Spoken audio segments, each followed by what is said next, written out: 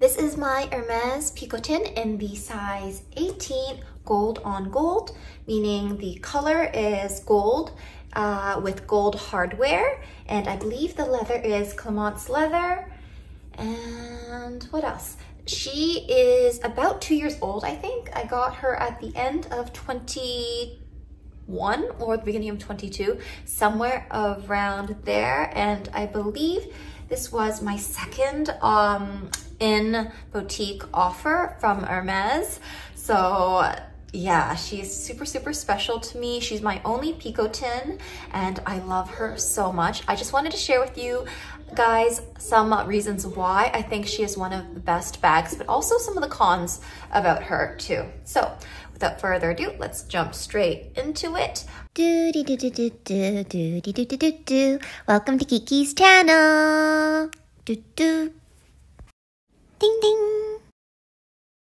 I would say the number one pro about her is aesthetics.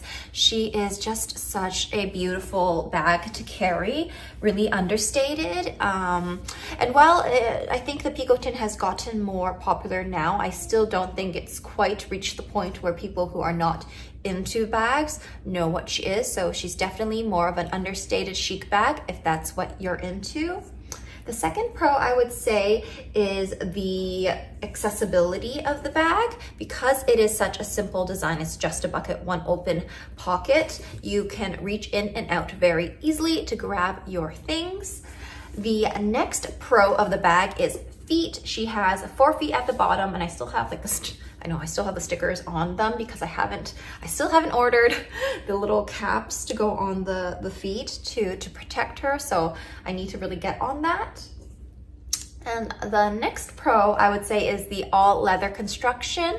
Because she is all leather, she is slightly more, I think, weather friendly in terms of not going to um, patina a certain way or fade. And Having said that, I do know that there can be spots on certain types of Hermes leather because mine in particular is, my Picotin in particular is in Clemence leather. I believe that's slightly more hard wearing. Um, and yeah, I think most Picotins are made of Clemence, correct me if I'm wrong, rather than Togo. So that is another consideration. Overall, I really, really love this bag. She might be my current favorite at this moment. Um, but having said that, I do also want to share with you guys some of the cons about this bag. So like I said, accessibility was one of the pros, but I think it's kind of like a double-edged sword. It's also one of the cons because at the same time, security, because it's an open pouch, you might feel like um, it could be a security risk depending on uh, what kind of area you're traveling through or where you live. That could be mitigated by having like a bag organizer that has like a zippy pouch in it, which I have and I use, or like having a larger pouch type thing and putting your wallet and valuables in that before putting in the bag.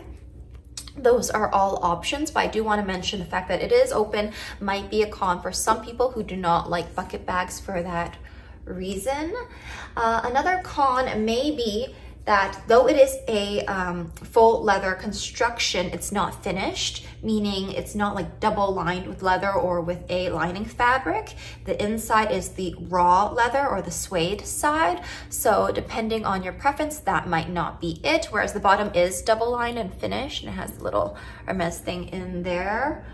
Um, for me, that doesn't personally bother me, but I would like to point that out. Uh, another point that could be a negative is the fact that it is made of a, well, this one in particular, I should say, maybe it's different if you get one in Epsom, which holds its structure more. It will slouch with time. So if you like a bag that has more structure, if you get a Picotin, especially if you look on pre-love sites, you might see or notice that they tend to slouch and have that kind of like eh, look with time a really relaxed look, which some people really love, but if that's not your thing, that could be a con. In my case, I want to preserve her for as long as possible in a structured condition. I don't mind it, her relaxing with time. So you guys might be going, hey, your bag is like super like, is that fake? Like, why is it so sturdy? Because I actually um, store her with you know those Amazon like bubble wrap things, like stuffed, and then I have like a separate like kind of flatter piece of like bubble wrap that's like this I keep and I store her like this and then every month or two I flip her around and I store her like this so both ways this way and then this way just to keep the shape and it's worked really well for me considering I use this bag fairly often um, and I've had her already for over two years. She is in amazing condition. So overall I would say yeah that's the only con oh wait sorry I almost forgot the last con. The last con would be how you hold her.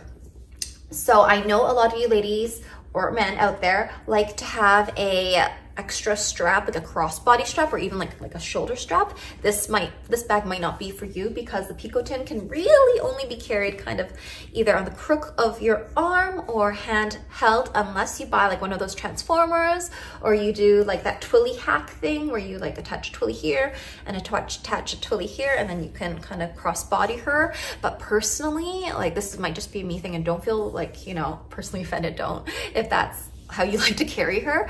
I really don't like that look. I like it to just look clean and like simple. So that's how I like to carry her. And yeah, those are the pros and cons of this bag. I wanna jump straight into some modeling shots. Here we go. So sorry, I am in my lounger pajamas. If there's like a stain from my daughter throwing milk at me or something, sorry.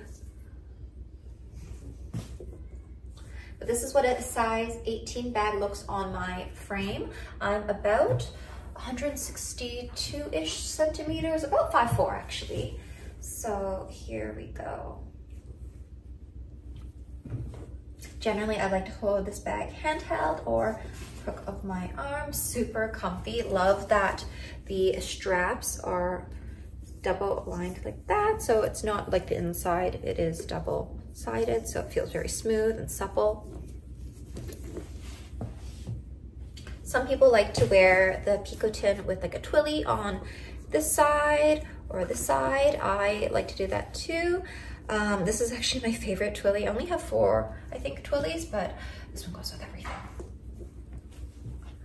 So yeah, that is my Hermes Picotin review. I hope you guys enjoyed this video. Let me know if you have any questions about this bag or any other bag in particular.